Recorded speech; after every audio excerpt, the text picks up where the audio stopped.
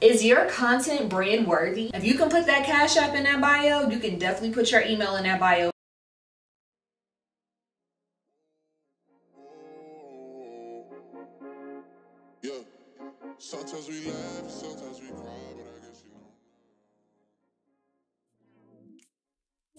Hey guys, what's up? It's me, Cece, and welcome back to my channel. If you are new, welcome. I hope that you would stay, subscribe, and become a part of the Fashion Ceesta family. Here over on my channel, I show you how to be your baddest bitch at an affordable cost, but today, we're here to talk about if it's still worth trying to become an influencer in 2024. And in the long and short of it, it absolutely is. As you guys can see here, I do not have that many followers. Even here on YouTube, I'm still under 5,000 subscribers and I have done tons of paid collaborations and I've been gifted by quite a few brands and attended brand events. What's most important, being able to build community that turns into conversion and then also being able to create quality content. That's not to say that big name influencers will be out the window. However, smaller creators do tend to foster a deeper sense of community and it's not just always a cash grab. If you guys are interested in hearing my tips on how I'm able to connect with brands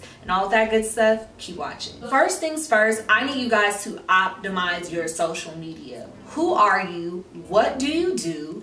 Where are you located? And how can brands get in contact with you? The reason why I think it's so important now is because if brands are having events, they know exactly where certain creators are located, especially if you are a small creator and it's not gonna cost them to fly you out. Not saying that they won't, but if you have that you are located in a certain area and maybe you have a smaller niche, brands will typically invite you to their events because obviously the more people, the more content's being created at the event and the more awareness it brings to the brand. And last but not least, make sure you have your contact email. Don't make them have to work for it. If you have your contact email there and present, brands will reach out. I can't express to you how many times brands will say, oh, I found this email in your YouTube description box, or, you know, we saw your email on your Instagram or on your TikTok, and we would love to work with you or send you some product.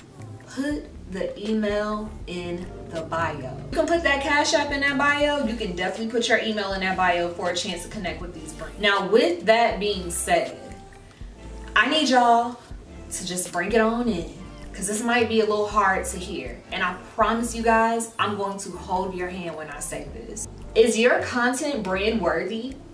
I think that we have seen so many people blow up on these platforms and we feel like their job is just so easy and all you need to do is go viral and the deals and the money are going to roll in. And unfortunately, that's not how this works. In my intro, I stated that the importance of building community is why brands are seeking after smaller creators. I have a background in sales and one thing that I've always stayed true to is understanding that if you can get a customer to like you, the customer will not only buy from you, but there's a certain level of trust. They will also refer or recommend you to someone else. Like that's just basic common knowledge when it comes to sales. If you are not producing quality content that a brand could use or post to their page, why would you think that a brand would want to give you their money, let alone will send you free product, but let alone pay you?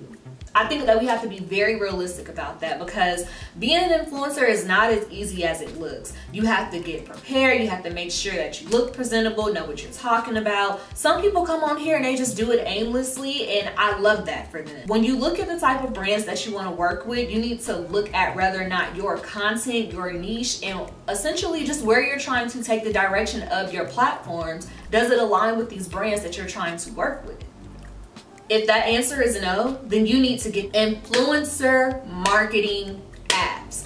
Personally, some of my favorites right now are BzzAgent, Skeepers, Aspire, as well as Shopify brand collabs. Now, Shopify probably might be my least favorite out of the four that I'm currently like really diving into right now. Skeepers actually just dropped down their requirements because at one point you had to have at least a thousand subscribers on YouTube. You had to have at least 5,000 views on your last three videos. Like it was just the most off the wall type of thing. But from a business standpoint, I also understand why the requirements were what they were because again, that goes back to what I'm saying. If you do not align with the brands, if you're not serious about this, you can't expect brands to want to spend money on working with you. So now that they've lowered the requirements, I believe it's just a thousand followers on Instagram, thousand followers on TikTok, and 500 subscribers on YouTube. So if you guys are looking to receive gifted PR and apparently there are paid opportunities on Skeepers as well. I've personally never seen any, but if you guys would like to start receiving PR or just working with brands and getting used to what it's like to, to actually deliver the content in a certain time frame, Skeepers is a really great starter app as long as you have those minimum requirement of followers when you sign up for those platforms and i'm to have them all linked down below in the description box i'm to link all of the websites below that i use for influencer marketing at. You once you guys do that and you start selecting products and you're getting accepted for these campaigns if you struggle with creativity or just needing an idea of how to shoot certain things i highly highly, highly, highly recommend downloading Pinterest and looking up different creative shoots surrounding certain products so that way you can create a storyboard and then be able to create your content. You also want to use ChatGPT to help you create a script talking about the product, giving key talking points um, for hashtags, anything like that, anything that you can do to help optimize your content, you want to use those platforms. On Skeepers and on Shopify collabs, they do typically want you to express why you want to work with the brand and why they should work with you. You can also use ChatGPT for that to help you structure an email talking about why you should work with the brand. And obviously you want to list all of your qualities, the type of content that you have chat GPT will know how to spice it up for you if you're at a loss of words because I know sometimes I get a loss of words and I just throw what I think I want to say into chat GPT and I allow chat GPT to formulate that email or that DM pitch for specifically for YouTube. I want to focus on this because obviously this is the platform that you guys are watching me on. If you do not have TubeBuddy, I suggest getting it. There is a free version and there is a paid version. I've had the paid version and then it expired and I was using vidIQ, so I, I don't know, just listen. I'm trying to cut my costs. The person who put me onto vidIQ is none other than the Aaliyah's Face. This was back when she was doing her day in the life of an influencer content. vidIQ will teach you how to formulate the titles for your video based upon what's being searched right now by current users. I believe the last time that I was using vidIQ, I want to say it was $50 a month. As far as working smarter and not harder, I'm only willing to pay for subscriptions and invest my money on platforms that I know I'm serious about and when I'm no longer serious about them or I see that I'm not using them then I will cancel them. But vidIQ is an amazing tool if you guys want to start being able to get your videos pushed out. Also with that if your thumbnail is not fire nobody's to click on your video. It doesn't matter how much information you have. If the thumbnail sucks nobody wants to watch you sis. How many of y'all clicked on this video because of the thumbnail don't worry, I'll wait. How many times have you guys clicked on a video or maybe a TikTok grabbed you because they had a really amazing hook and as for YouTube the thumbnail was so good maybe you're three to five minutes into the video and you realize they're not even giving me anything of value that's the importance of a strong hook and that's the importance of a great thumbnail. You want to get people attention so that they will actually click on the content and then it's even better and just icing on the cake if you're actually giving them something of value. People buy from and pay attention to people that they like. And when they do like you, they will refer you to other people. You saw how I just plugged Aaliyah's face in her day in the life of an influencer series because I got value from that. Are you bringing value to the platform?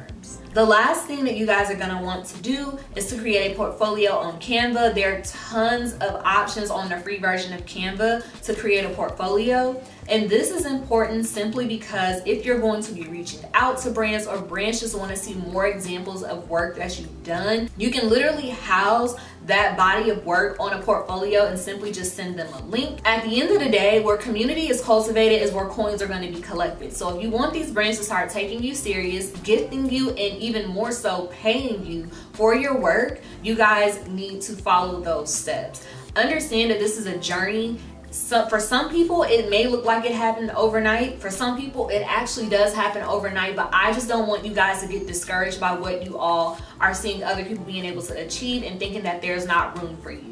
Show up take up space, be unapologetic, and don't care about what people think about you posting. I'm 32 years old and I'm a content creator, and I don't care what anybody has to say about me sitting in front of this camera and doing because I know the money that's in it, I know the community that comes with it, and I genuinely love to do this content creation.